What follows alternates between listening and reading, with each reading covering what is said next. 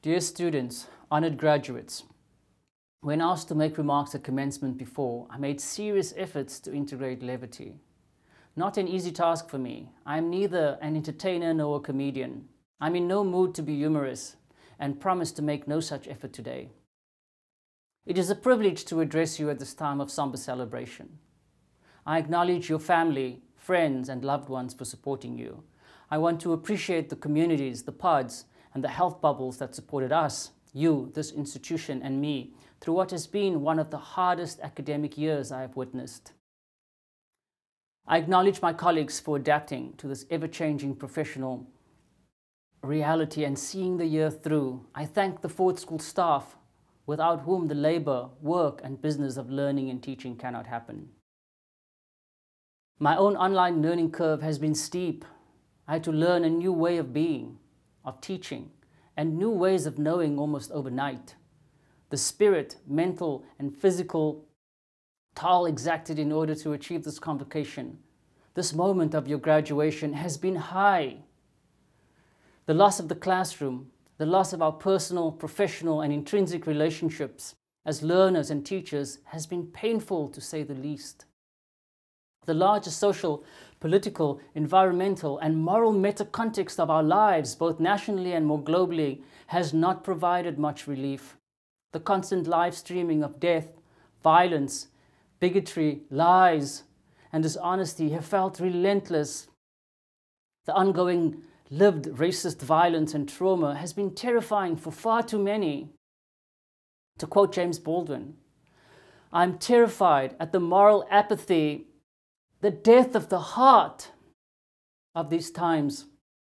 I'm aware the compound social political experiences, the stress and strain over the last years have been particularly hard on you, the graduating student body.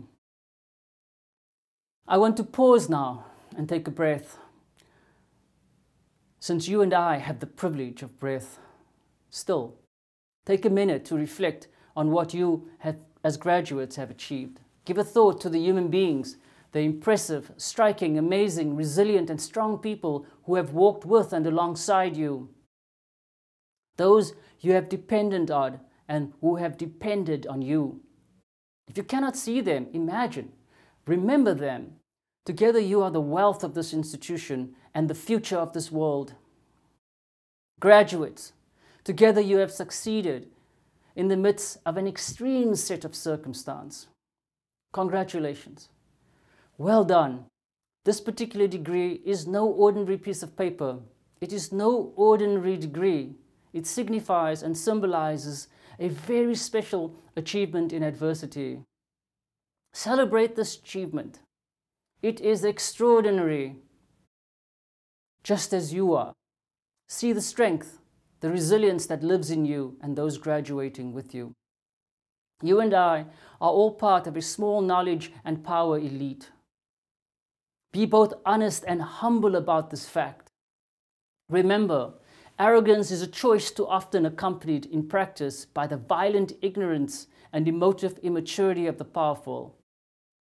Wherever you go next, you are called to be both strength and humility, resilience and tenacity, fortitude and vision. Accept this challenge of leadership as public and civil leaders, intellectuals and academics, researchers and analysts, policymakers and change agents. You have done the extraordinary. You can do it again, and you can do it again.